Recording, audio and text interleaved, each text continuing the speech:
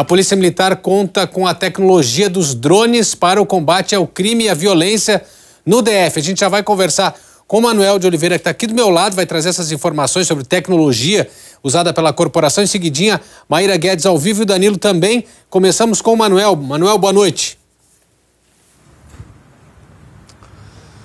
Oi, Porta Nova. Boa noite para você, boa noite a todos que nos acompanham aqui no DF Record. Pois é, o drone ele faz basicamente o mesmo trabalho que o helicóptero e é uma alternativa muito mais simples e tem um preço mais acessível para que a polícia possa ter acesso às imagens aéreas. Esse equipamento, Porta Nova, ele é essencial também para captar imagens de pessoas, placas de carros e até de animais. Atualmente, a PM aqui do Distrito Federal conta com sete drones que são usados então em ocorrências de manifestação, ocorrências de trânsito e também em ocorrências de alagamento, por exemplo. De acordo com as informações que a gente conseguiu da PM, através dele, os militares conseguem, Porta Nova, fazer um acompanhamento detalhado das ocorrências policiais. O drone, por exemplo, ele foi usado para monitorar a posse do presidente Luiz Inácio Lula da Silva no dia 1 de janeiro